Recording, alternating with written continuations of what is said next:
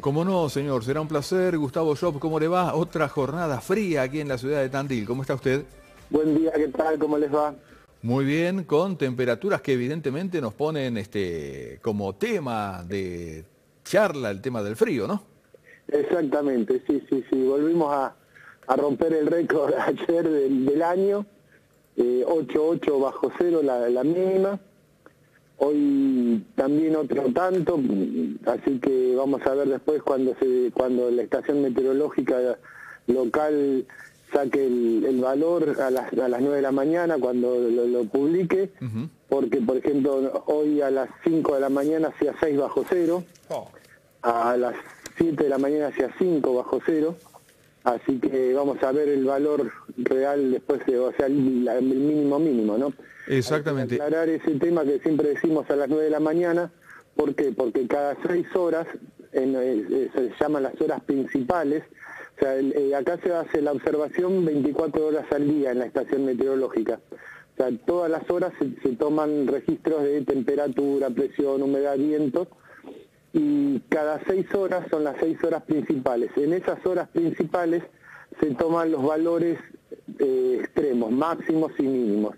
En este caso de la temperatura, ahora a las 9 de la mañana corresponde eh, tomar el de, justamente el de eh, la, noche, ¿no? O sea, noche y madrugada, o sea que vamos a tener el valor de la temperatura mínima registrada, que incluso se toma en un termómetro especial, el de mínima, aparte del termómetro que tiene para medir la temperatura en forma horaria, hay un termómetro especial que incluso no se congela porque está relleno el bulbo con, alcohol. en, ese, en ese termómetro ahí queda registrada, queda indicada la temperatura mínima a la que se alcanzó.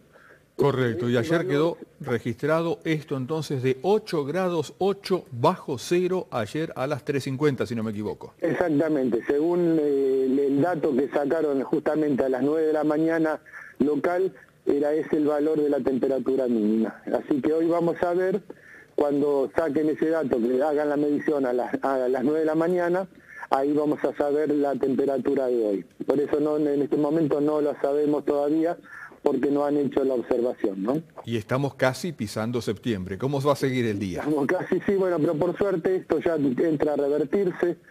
Ya esta semana sí vamos a terminar el viernes con seguramente a lo sumo con cero grados, pero ya por ejemplo para el comienzo digamos del fin de semana y la semana que viene las temperaturas tienden a ascender, vamos incluso a superar los 20 grados a partir del domingo y en los días subsiguientes. Lo único que se ve una semana inestable y acá podríamos decir que empieza a haber buenas noticias para el sector agropecuario ya que entre martes y miércoles se espera la probabilidad de precipitaciones, lo mismo que entre jueves y viernes también habría otra otra probabilidad de nuevamente de precipitaciones. Vamos a ver eso, después lo vamos a ir siguiendo la evolución a lo largo de los días, a ver cómo, cómo continúa esto, pero por lo menos tendríamos esa buena noticia para, para, para ese sector. Y para, digamos así, en general, lo que sí podemos decir es que por lo menos se corta por unos días el frío y que vamos a tener muy buenas condiciones en cuanto a temperatura, ya que como decía, vamos a superar los 20 grados de temperatura máxima eh, la semana que viene, prácticamente toda la semana.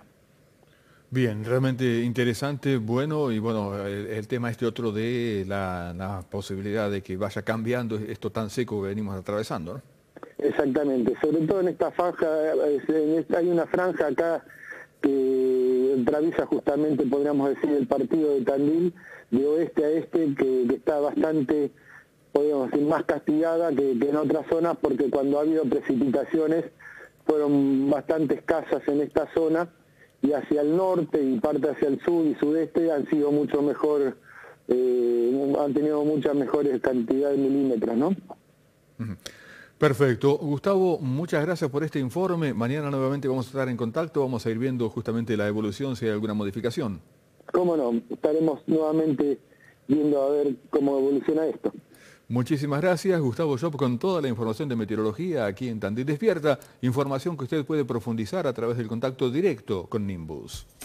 Nimbus, pronósticos meteorológicos personalizados para todo tipo de actividades, heladas, heladas tempranas y tardías, precipitaciones, temperaturas extremas, pronósticos extendidos. Más de 20 años trabajando para productos de cultivos, ganadería, sociedades rurales y cooperativas agrícolas. Usted recibe un email personalizado con toda la información, pudiendo hacer consultas telefónicas cuando su trabajo lo requiera. Nimbus